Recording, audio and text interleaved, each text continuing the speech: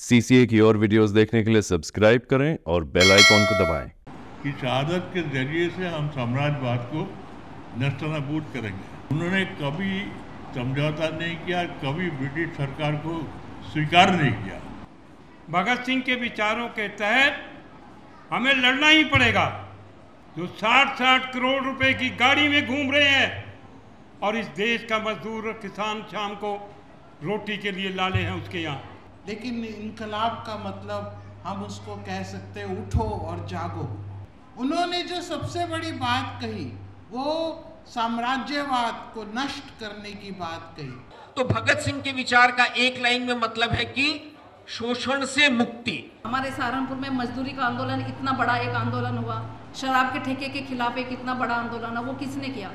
उसमें पूरी पहल पूरी भागीदारी पूरी पूरी लीडरशिप महिलाओं के हाथ में थी। और जब महिलाओं के हाथ में लीडरशिप होती है और महिलाएँ आगे आती हैं तो वो कुछ भी कर ले जाती हैं। कि बहरों को सुन, ये सरकार बहरी हो गई है, ये जनता की बात नहीं सुन रही है। बहरों को जगाने के लिए उनके कान के पास धमाका करना ज़रूरी है। कि भगत सिंह देश की 10 फ़ीसदी आवाम के बारे में नहीं सोचते थे, वो देश की मेहनत कश आवाम के बारे में सोचते थे, वो भारत के मजदूर और किसान के बारों में बारे में सोचते थे। साथियों, भगत सिंह ने कहा था, इंकलाब की तलवार विचारों की शान पर तेज होती है।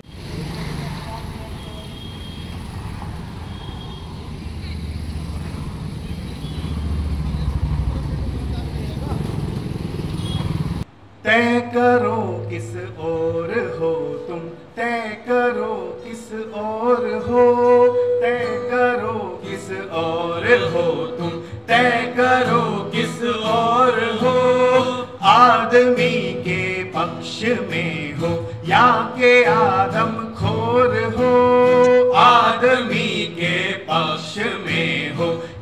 के आदम खोर हो तय करो किस और हो तुम। तय करो किस और हो तय करो किस और हो तुम। तय करो किस और हो। खुद को पसीने में भिगोना ही नहीं है ज़िंदगी। रेंग कर मर मर के चलना ही नहीं है ज़िंदगी। कुछ करो के ज़िंदगी की डोर ना कमज़ोर हो। तय करो किस और हो तुम, तय करो किस और हो। तय करो किस और हो तुम, तय करो किस और हो। शहीद आज़म को हमें बार बार याद करना चाहिए। और ये कोई सांकेतिक मामला नहीं है यह हमारा जीवन का एक दर्शन है। शहीद आज़म भगत सिंह ने अपनी ज़िंदगी के शुरुआत बहुत कम समय उनको मिला था। 1925 से लेकर इकतीस छः साल।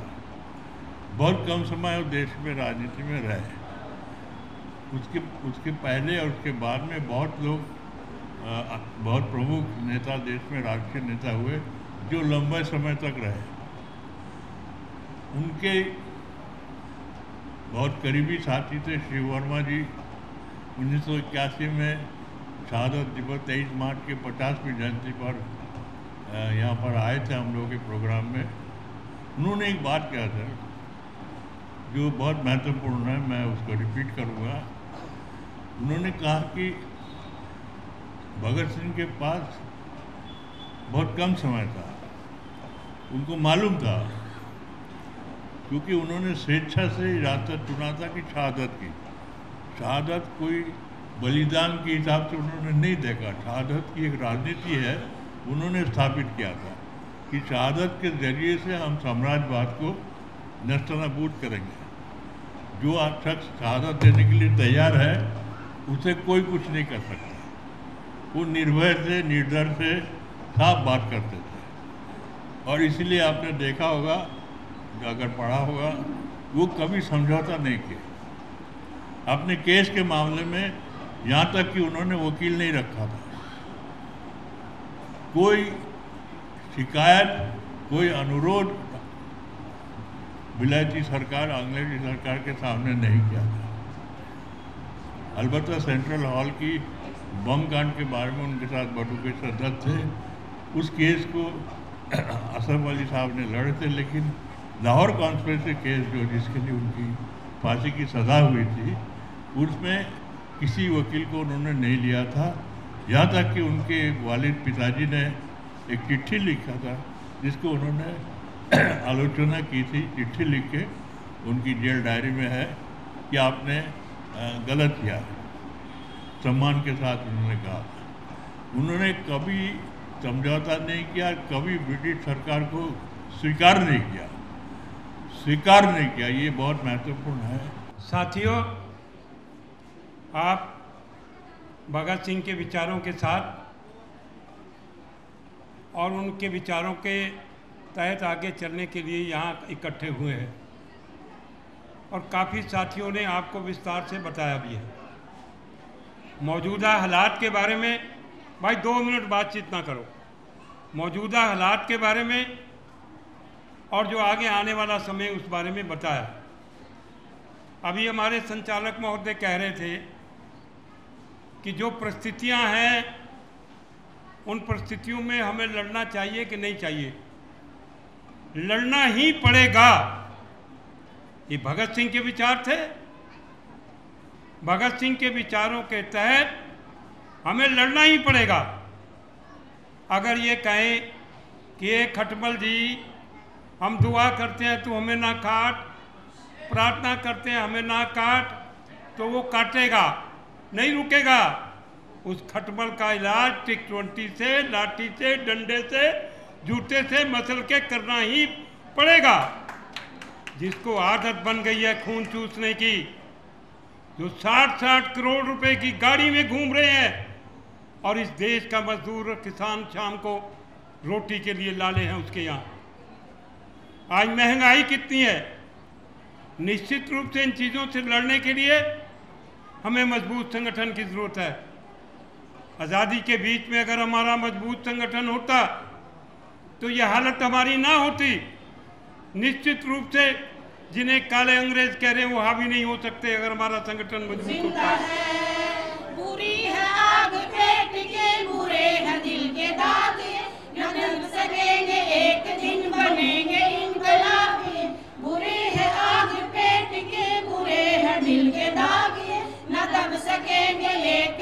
बनेंगे इनकलाबी गिरेंगे जुल्म के महल, बनेंगे फिर नए नगर। गिरेंगे जुल्म के महल, बनेंगे फिर नए नगर। अगर कहीं है स्वर्ग तो उतार ला ज़मीन पर, तू ज़िंदा है। इनकलाब जिंदाबाद। इनकलाब जिंदाबाद। साथियों, ये नारा नहीं एक जज्बा है। ये नारा जैसे कि नकुल ने बताया, ये नारा उस समय लगाया गया था इनकलाब। ये इनकलाब का मतलब उर्दू शब्द है, लेकिन इनकलाब का मतलब हम उसको कह सकते हैं, उठो और जागो। ये एक उर्दू शब्द है, लेकिन इसकी जो गहराई है वो बहुत, और ये नारा सबसे पहले भगत सिंह और उसके साथियों ने दिया था। अपनी उस देश को जगाने के लिए उन उन लोगों को जगाने के लिए जो सोए हुए थे, उन मजदूर ताकतों को, जैसे अभी मेरे युवा साथी ने बताया, कि उन मजदूर साथियों को जगाने के लिए, महिलाओं को जगाने के लिए, उन्होंने जो सबसे बड़ी बात कही, वो साम्राज्यवाद को नष्ट करने की बात कही। उस समय आपको याद होगा, अंग्रेज़ी हुकूमत यहाँ पर थी। अंग्रेज़ों को भगाने का जो नारा उन्होंने दिया था, कांग्रेस और बाकी लोग तो बहुत बाद में आए, लेकिन उन नौजवानों ने इसका बीड़ा उठाया था। सिर्फ़ पाँच छः लोग लड़के थे, बच्चे थे, जो बहुत ही कम उम्र में 18-19 साल की उम्र में उन्होंने ये नारा दिया। और उस समय उनकी समझदारी आप अंदाज़ा लगा सकते हैं कि उस समय इस तरह का नेट भी नहीं थे, ना कंप्यूटर्स थे, ना कुछ था, लेकिन उनकी जो जानकारी थी पूरे विश्व के साम्राज्यवाद के बारे में, वो शायद आज तक भी हमारी नहीं हुई है। और उन्होंने ये नारा दिया था कि साम्राज्यवाद, ये विश्व पूंजीवाद है, ये हमारे देश की खोक जड़ों को खोखला कर और ऐसा नहीं है कि महिलाओं की भागीदारी जो है देश आज़ाद कराने में या उस लड़ाई में शामिल नहीं थी। महिलाओं ने हमेशा ही बहुत ही बढ़ चढ़कर हिस्सा लिया, घर भी संभाला और बाहर भी संभाला।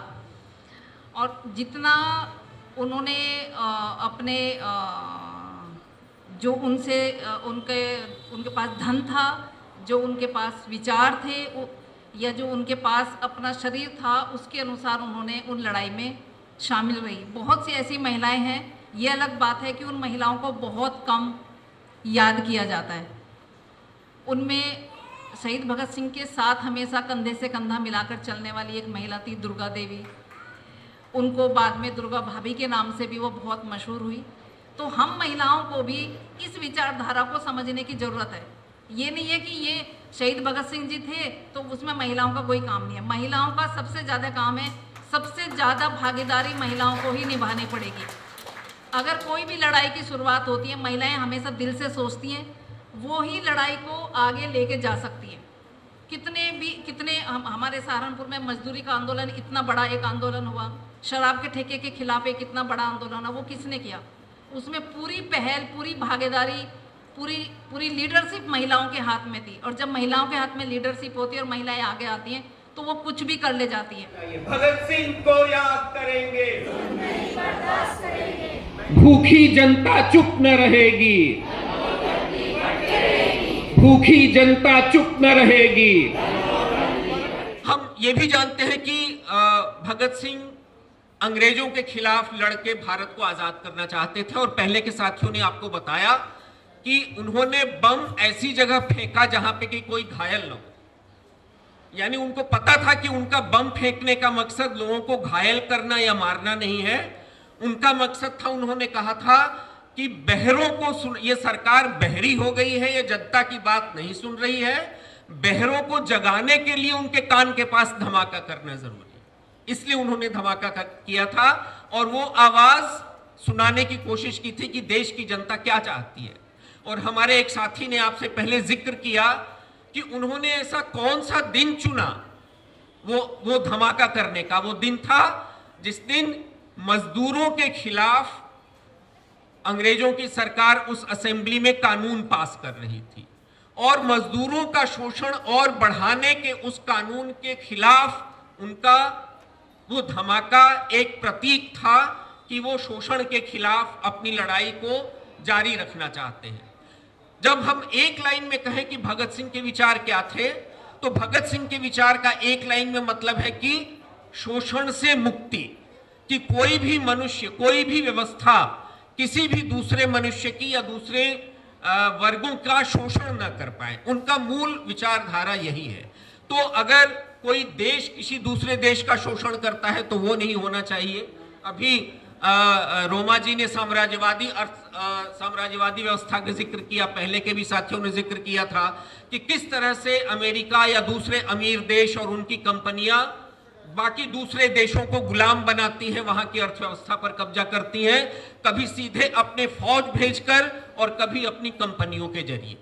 तो देशों का देशों पर शोषण ना हो, सवर्ण जातियों का अन्य जातियों पर शोषण ना हो, उन्होंने अछूत समस्या नाम का जो लेख लिखा जिसका ज़िक्र आया था आपके सामने, किसी धर्म का दूसरे धर्म पर शोषण ना हो, सांप्रदायिक दंगे और इलाज के नाम से उनका एक लेख है, आप ज़रूर उसे पढ़ने का प्रयास करें।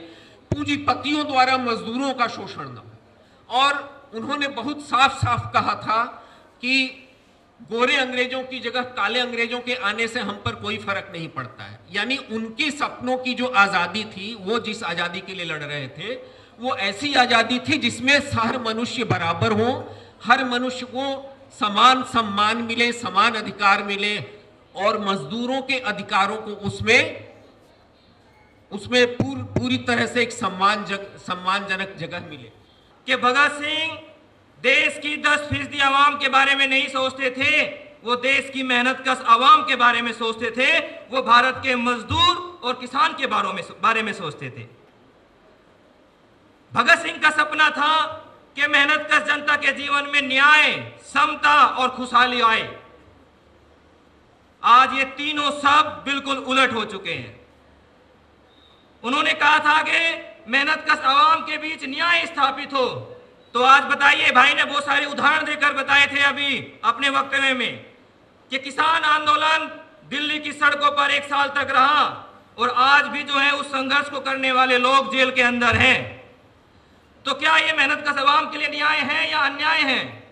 हमें ये सोचना पड़ेगा। जो लोग जनता की बात करते हैं वो कितने लोग आज भी जो है बेगुनाही के होते हुए भी जो है आज देश की जेलों में जो है, किस कदर अपनी ज़िंदगी काट रहे हैं, ये हम आप सब अखबारों में पढ़ते हैं, पुस्तिकाओं में पढ़ते हैं। साथियों, भगत सिंह ने कहा था इंकलाब की तलवार विचारों की शान पर तेज होती है। इंकलाब की तलवार अगर आप समाज में बदलाव चाहते हैं तो आपके विचार कैसे हैं? आप सोचते कैसे हैं? आप समझते कैसे हैं? तो अपने मुल्क के सामाजिक आर्थिक, राजनीतिक और सांस्कृतिक समस्याओं को देखना, उन पर चर्चा करना और उनके खिलाफ जनता को लामबंद करना।